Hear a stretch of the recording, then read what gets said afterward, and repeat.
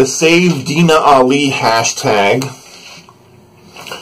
gave us another opportunity on Twitter to have the argument about whether or not Western feminists are wasting their time in the first world while women are being raped, murdered, mutilated with acid in the third world, while Western women are, you know, living the life of Amy Schumer and Lena Dunham. Don't you get it, guys?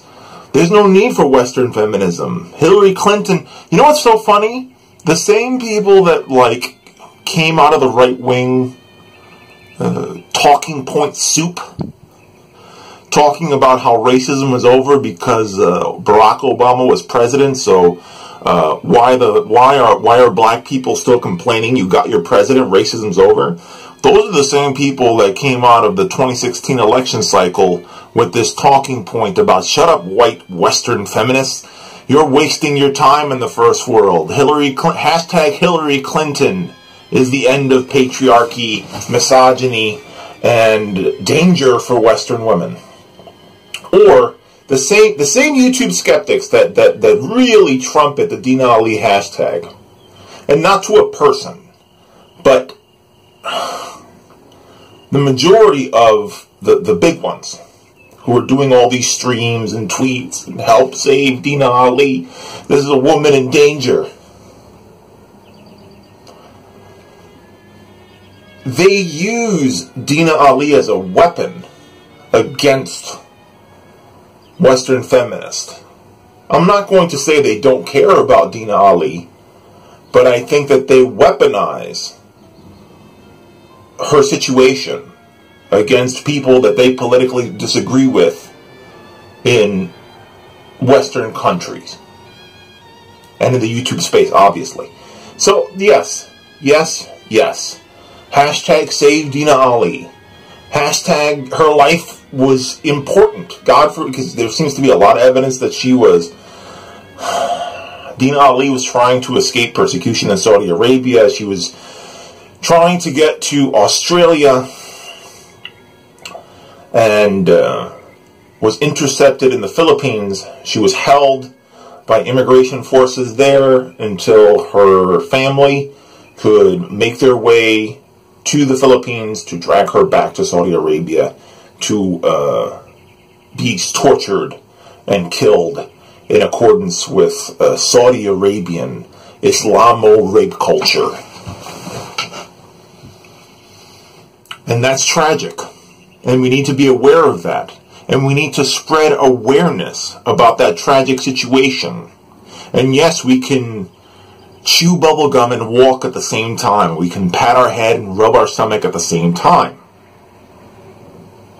But the right wingers and their collaborators within the liberal, skeptic, rational reason community on YouTube and Twitter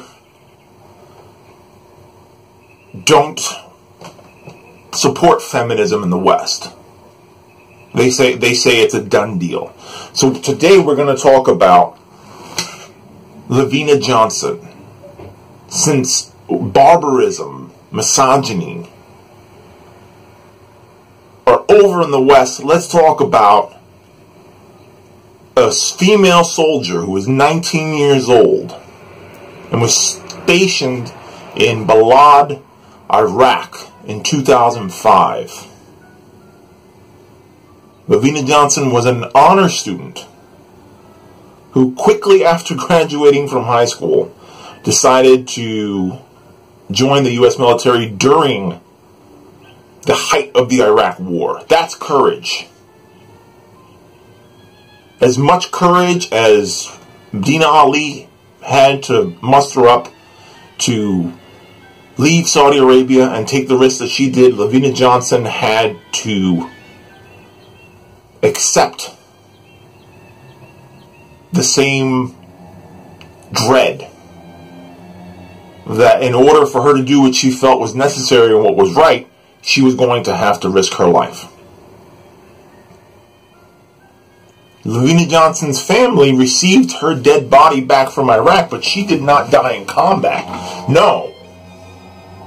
See, all the evidence seems to point to the possibility that Lavena was murdered by other U.S. soldiers on the base that she was stationed on. See, Lavena Johnson was a victim of the epidemic of rape within the U.S. military. And this, this epidemic of rape applies to male and female soldiers.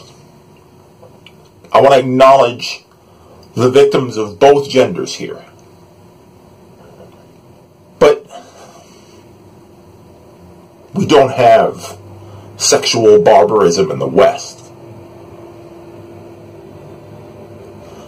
You know, the, the, the, the details, if, if I gave the details of the Lavena Johnson's murder in a vacuum to some of these YouTube skeptics and asked them,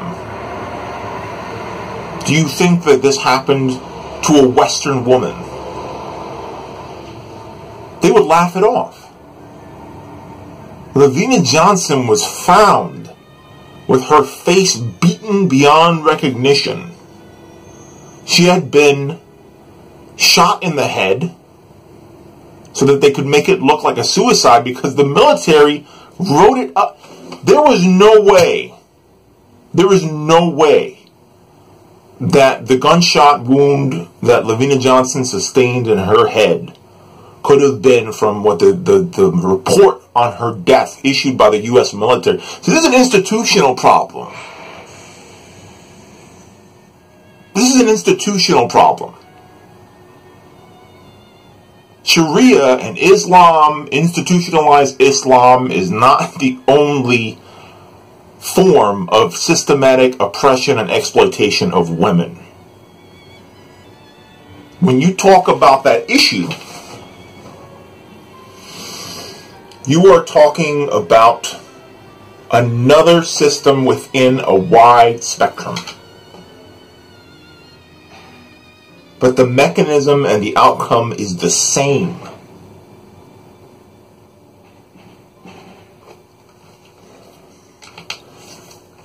In order to cover up the fact that she was raped before she was killed, Lavena Johnson's attackers poured acid on her genitals so that they could dispose of any sort of physical evidence that she'd been violated. These were first world perpetrators. This was a first world victim. This was a first world institution covering this up, privileging these men in the murder of a woman. The U.S. military.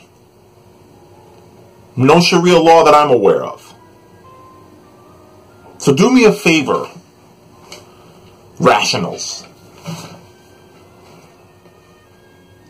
You want to honor Dina Ali? I do too. Remember her name and honor her by standing up for the Dina Ali's in the U.S. military. Stand up for the Dina Ali's in American universities. Stand up for the Dina Ali's in your local community. Hashtag save American women.